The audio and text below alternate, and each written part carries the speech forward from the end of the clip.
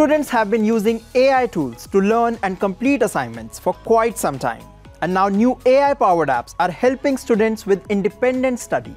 Watch this story for more details. Artificial intelligence is revolutionizing various sectors across the globe. And education is no exception. American students are now turning to AI enabled educational apps. Why?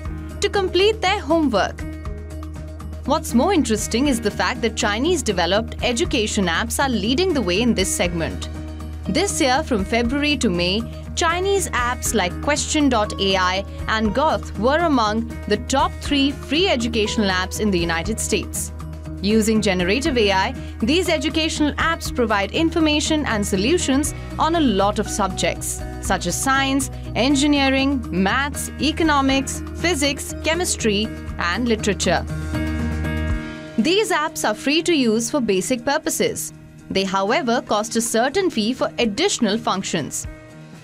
Their simplicity is what makes them popular. In other words, these apps are really easy to use. Students have to click a photo of their homework problem and the apps automatically generate solutions to the query. That's not all.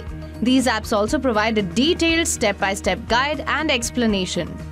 The popularity of these Chinese apps comes amid the ongoing China-US battle over TikTok. Short-form video platform TikTok faces the risk of getting banned in the United States unless its parent company ByteDance divests in its US operations. While these AI powered Chinese apps are quite popular in the US market, monetization remains a major challenge for them. While education apps are gaining popularity across the globe, they are unlikely to replace traditional learning methods in the near future. What do you think?